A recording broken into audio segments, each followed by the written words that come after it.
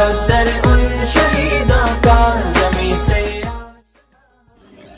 میرا نام جہانگیر خان ہے اور میں لاجسٹک مینیجر کیٹیگریڈی ہسپتال مشت میں کام کر رہا ہوں۔ جتنے بھی ہمارے نوجوان ہیں، ان کو اپنی تعلیم پر توجہ دینے چاہیے، اپنی اسکل پر توجہ دینے چاہیے، کیونکہ ان کا مستقبل ان تعلیم سے وابستہ ہے، یہ روزگار سے وابستہ ہے۔ اگر یہ دوستوں ملک مخالف ناروں میں چلی جائے اور کسی سیاسی وابستگی سے چلی جائے، تو ان کے لیے مستقبل کے لیے تابناک ہو جاتا ہے اور ان کے لیے کوئی فیوچر اس میں نہیں ہے۔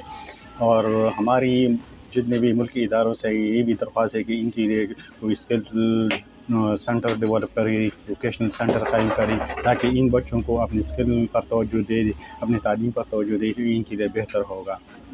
اس حوالے سے میں یہ پیغام دینا چاہتا ہوں کہ یہ جو ہمارے نوجوان، یہ برین اسٹارمنگ بعض لوگ ان کی برین اسٹارمنگ کر رہتے ہیں ملک مخارب نعرے ان سے لگواتے ہیں تو یہ ان کے لیے اچھے نہیں ہے۔ کیونکہ تعلیم پر توجہ دینی چاہیے اور اپنی اسکل پر توجہ دینی چاہیے۔ کیونکہ یہ جو ملک مخالف نعرے ہے یہ ان کے لیے، ان کی کیریئر کے لیے بہت خطرناک ثابت ہو سکتی ہے۔ اور ملک کے لیے بھی یہ خطرناک ثابت ہوتا ہے، کیونکہ یہ واج پاکستان ہے، یہ ملک ہے تو ہم ہے اگر یہ نہیں ہے تو ہمارا دھرتی بھی نہیں ہے، ہمارے پاکستان نہیں ہے اور یہ کچھ بھی نہیں ہے۔ تو ہماری جو حفاظتی ہے، یہ ہماری فوج سے وابستہ ہے۔